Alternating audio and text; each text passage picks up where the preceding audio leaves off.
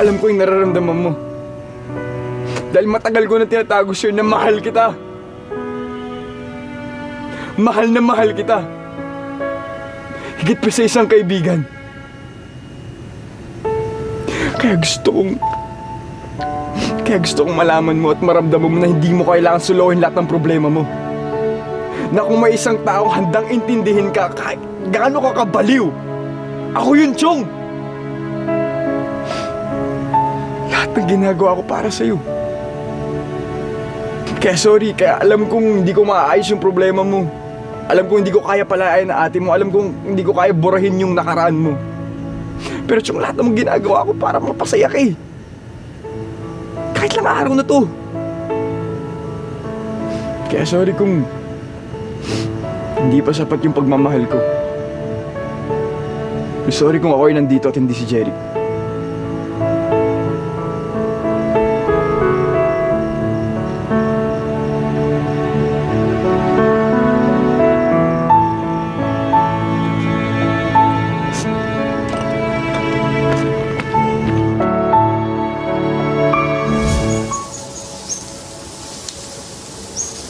Para sa'yo.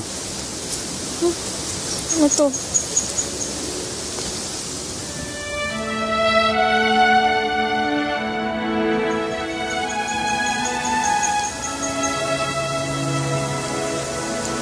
Bakit mo to binibigay sa akin? Ganda ng message.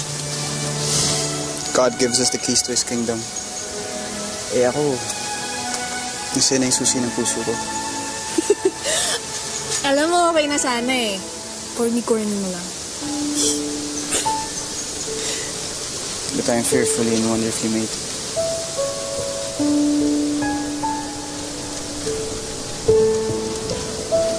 Alam mo?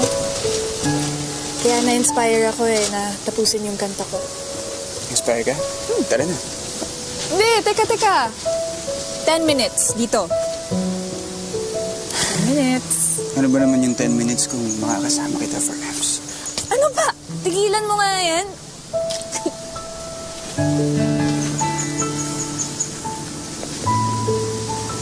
May. Ano yung pansulat mo? Nakalimutan mo. Ay, ano ba? Mm.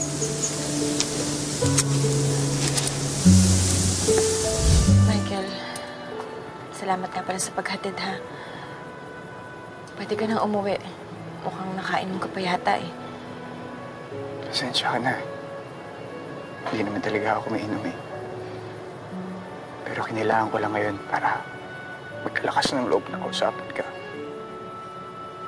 Kung tungkol to sa atin, kalimutan mo na yun, Michael. Sige, papasok na ako ha. Medyo sandali. Hindi ako papayag na na wala akong gawin. Hindi ako papayag na matapos yung relasyon natin ng ganun-ganun lang. Dahil mahal kita. At hindi ko maintindihan kung bakit mo gustong hiwalayan. Eh, alam mo naman kasi si Mama, di ba? Hindi ka kausap ko siya. Alam mo, dapat matagal ko nang ginawa yun eh. Ipapakita ko sa kanya na karapat dapat ako para sa'yo. Alam mo, balik sa may mga plano ko para sa ating dalawa. Na pagkatapos ko sa TESDA, mag-aaral ako para makakuha ko magandang trabaho sa abroad. Maghihipon ako para sa ating dalawa. Para magka-business tayo isang araw. Okay lang na mahirapan ako. Dahil ikaw ang inspirasyon ko. Hindi, hindi ko alam paano napunta yun sa bag ko. Ay, hindi po.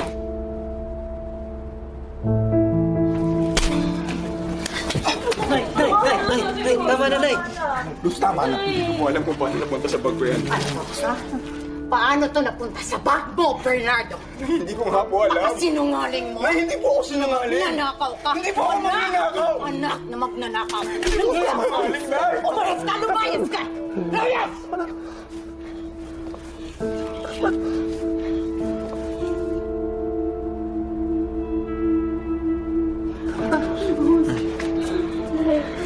Hindi nga po ako sinungaling, Nay. Hindi rin ako magnanakaw. Nay, hindi niyo po alam yung pinagdadaanan ko. Nay, hindi ko magagawa yun sa'yo dahil nanay kita at mahal na mahal kita! Hindi ko magagawa yun sa'yo. Sa pamilya ko.